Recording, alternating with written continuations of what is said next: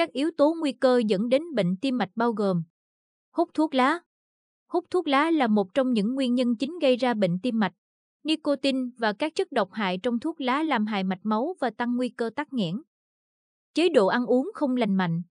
Ăn nhiều thực phẩm chứa chất béo bão hòa, cholesterol đường và muối có thể dẫn đến tăng huyết áp, tăng cholesterol máu và tăng nguy cơ mắc bệnh tim mạch. Lối sống ít vận động. Thiếu hoạt động thể chất làm tăng nguy cơ béo phì, tăng huyết áp và tiểu đường, từ đó tăng nguy cơ mắc bệnh tim mạch. Béo phì.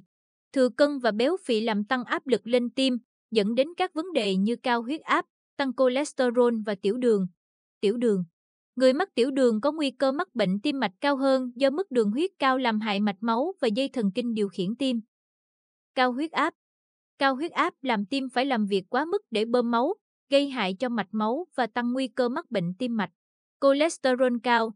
Mức cholesterol LDL, cholesterol xấu cao và mức cholesterol HDL, cholesterol tốt, thấp làm tăng nguy cơ tắc nghẽn mạch máu. Tiền sử gia đình Nếu trong gia đình có người mắc bệnh tim mạch, nguy cơ mắc bệnh cũng cao hơn do yếu tố di truyền. Stress và căng thẳng Stress kéo dài có thể làm tăng huyết áp và gây hại cho mạch máu, tăng nguy cơ mắc bệnh tim mạch. Uống rượu bia quá mức Uống rượu bia quá mức có thể dẫn đến cao huyết áp, béo phì và làm hại tim mạch. Tuổi tác và giới tính Nguy cơ mắc bệnh tim mạch tăng theo tuổi tác và nam giới có nguy cơ cao hơn nữ giới trước tuổi mãn kinh. Chúc ba con nhiều sức khỏe. Đừng quên nhấn like và đăng ký kênh Sức khỏe 60 giây để không bỏ lỡ bất kỳ video mới nào. Hãy cùng chúng tôi xây dựng một cộng đồng mạnh khỏe và tràn đầy năng lượng.